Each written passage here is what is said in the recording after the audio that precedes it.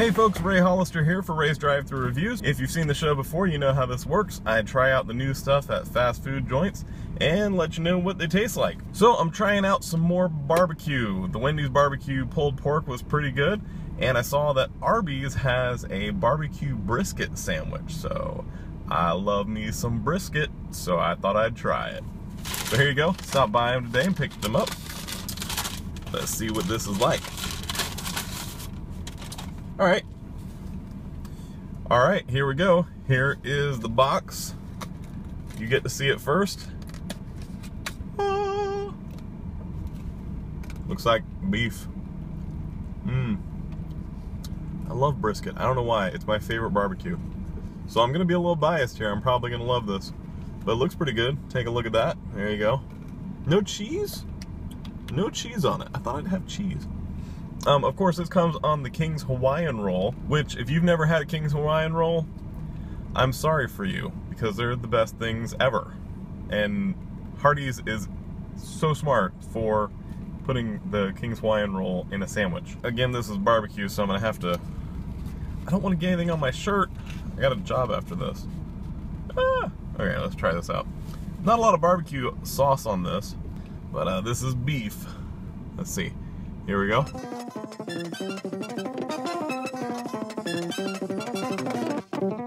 Mm. Ooh. You can see this. They put pickles on it. See that? They put a pickle on it. I didn't expect them to put a pickle on it. I don't know if I like the pickle or not.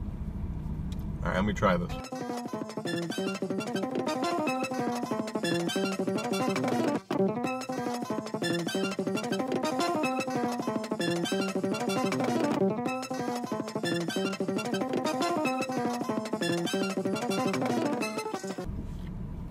Okay, so let me give it to you straight. It's okay. It's not that great. The meat doesn't have a lot of flavor, and that's one of my favorite things about beef brisket. It usually has a really rich flavor, and uh, it's kind of bland. The barbecue sauce is kind of meh. Not a lot of flavor to it either. It, it doesn't really pop. Um, the pickles were surprising and not really welcome. Uh, they, I, I, didn't like that. Uh, I think I would have enjoyed this more if it had some cheese on it. Beef brisket is supposed to have crispy edges, and this doesn't have any crispy edges at all. It's very thinly sliced, which for roast beef is great, but for beef brisket, you kind of want it to be a little bit more chunky. And because it's so thinly sliced, it comes out dry, even though there's a good bit of barbecue sauce on here.